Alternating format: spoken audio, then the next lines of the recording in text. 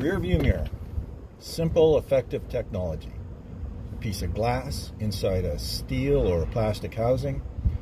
Works perfectly, requires no maintenance, doesn't cost a lot. How can you improve on that?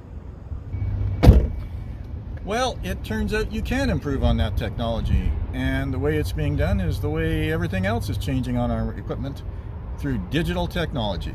Yes, rear view mirrors are going digital. Ford just introduced uh, a digital internal rear view mirror up on the head uh, console in its cargo van. There would be no point in having a mirror there. Typically on a cargo van, you got solid doors behind you, you wouldn't see anything. But it works the same way a backup camera does, except the image now appears where you'd find a image in the rearview mirror.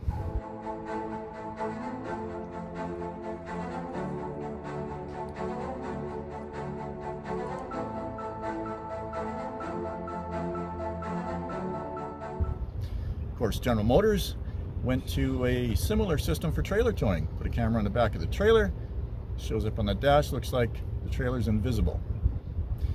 Heavy trucks are going that way too. Kenworth just announced its new T680 will be available with digital rear view mirrors.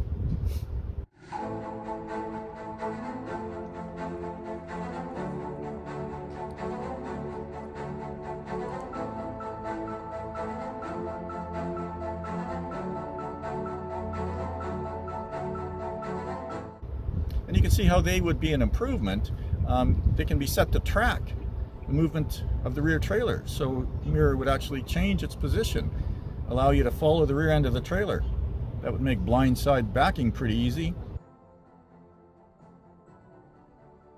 And of course they have night vision, making you making it possible to see a trailer in the dark, which with a rear view mirror, a normal rear view mirror, in the dark, can't see much back there.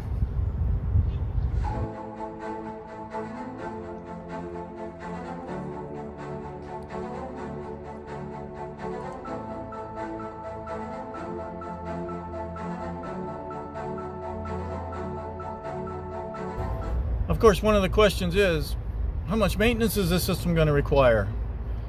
Broken mirror, well, just go to a glass shop and a few bucks will get a replacement or go to Princess Auto and buy a whole new one, bolt it back on the side of your truck and you're good to go. But a digital one, going to a shop, paying 140 bucks an hour shop fee plus parts, if parts are available to get you back going. So digital mirrors may be great. They may offer all kinds of advantages. Of course, as always, technolo with technology, the downside is failure and replacement costs and time. Well, that's it for this episode. Thanks for watching. Be sure to come back soon to Ag Dealer TV for more news and information in the ag equipment world.